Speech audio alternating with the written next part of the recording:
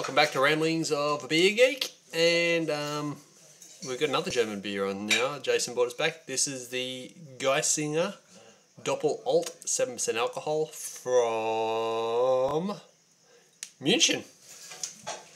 Um, I do love a good alt beer.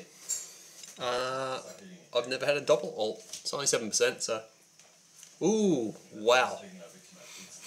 That's really, really, really rich melanoid malt on the nose.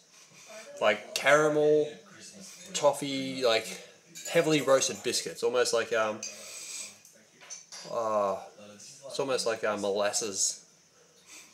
Molasses biscuits. No, not molasses. I can't think. Golden syrup. That's the word I'm looking for. If you're not Aussie, you probably don't know what that is, but it's almost like golden syrup crackers. Bloody smells fantastic. Hmm. In the mouth. Again, really, really rich melanoidins. It's um, yeah, this is fantastic. Actually, I really like this. Um, you got a uh, medium sweet up front, medium body, and nice dry finish. Like it really dries out through the finish. There's a medium firm bitterness, just like a good alt beer. Um, plenty of malt, that sweetness, a um, little bit of fruitiness from the yeast, I think. Um, biscuity, good firm bitterness, dries it out. It's that's a good beer. I think that should really be a style.